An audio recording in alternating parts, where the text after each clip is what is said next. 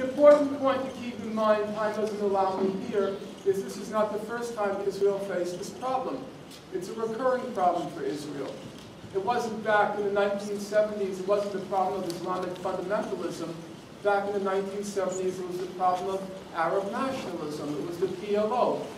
In the late 1970s, the Palestine Liberation Organization, just like Hamas now, the PLO, under the leadership of Yasser Arafat, it agreed to a two-state settlement. And at that time, the PLO was headquartered in Lebanon. In July 1981, the PLO enters into a ceasefire with Israel.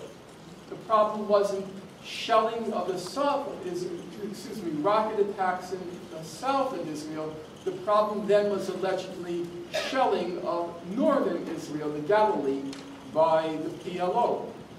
In July 1981, there's a uh, ceasefire between the PLO and Israel. The PLO says we're willing to settle on a two-state settlement. Then, in August 1981, the Arab League puts forth a peace proposal, just like the one it put forth in March 2002. In 1981, it wasn't the Crown Prince Abdullah peace plan, it was the Crown Prince Fahd peace plan. And just like Fahd eventually became king, so did Abdullah eventually became king. It was the same thing. A two-state settlement, the Arab League puts it forth, Israel is now in a panic.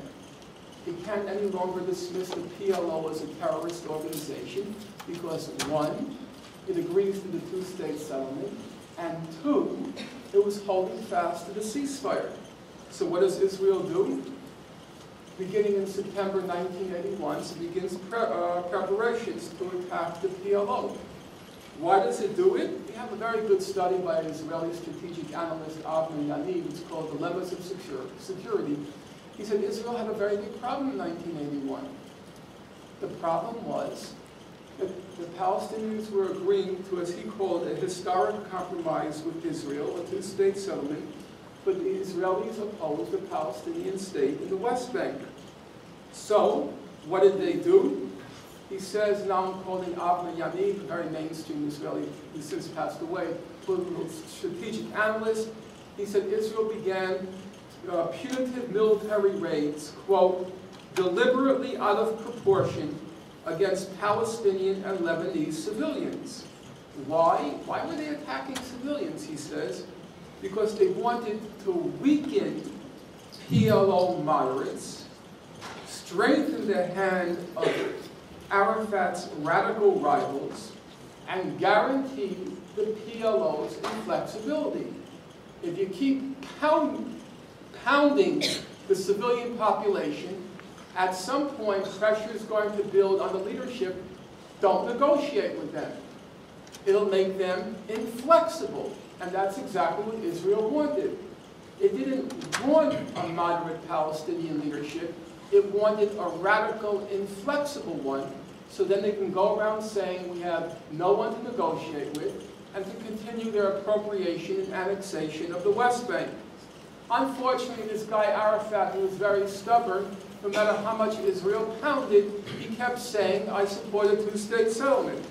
So Israel only had two options at that point, says Avner Yaniv, quote, a political move leading to a historic compromise with the PLO or preemptive military action against it. And he says Israel decided they had to attack the PLO. Why? I always like this phrase. I read the book many, many years ago, uh, but the phrase always stayed with me. He said the problem was, quote, Arafat's peace offensive. That was the problem. These Arabs, these diabolical Arabs, they even, even figure out a way to launch peace offensives.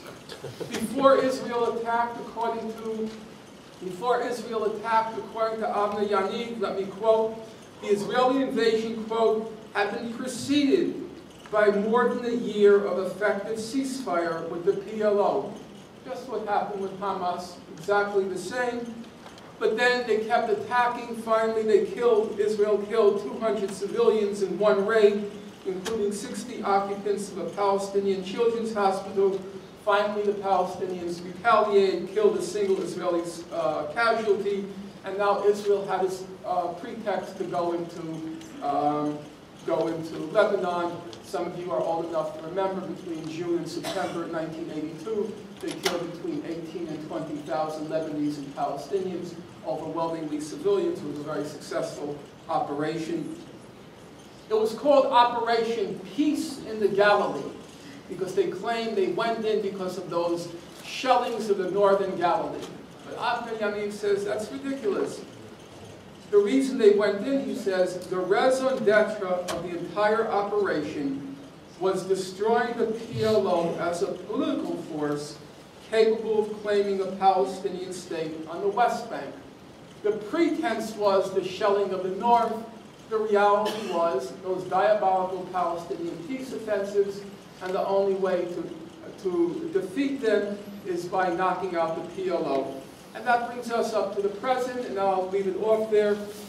December, night, December 2008, Israel's Foreign Minister Tzipi Livni, she says that Israel is in favor of a temporary truce with Hamas, but not an extended truce. Why? She said an extended truce harms the Israeli strategic goal, empowers Hamas, and gives the impression that Israel recognizes the movement.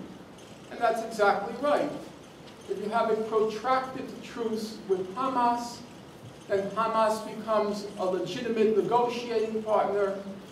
Hamas has expressed a willingness to settle on the June 67 border, and that will, in Livni's words, harm Israel's strategic goal, which is to retain the West Bank. As far back as March 2007, according to Israeli newspapers, Israel decided in attacking Hamas, and they only negotiated the June truce. The Israelis were very honest about this.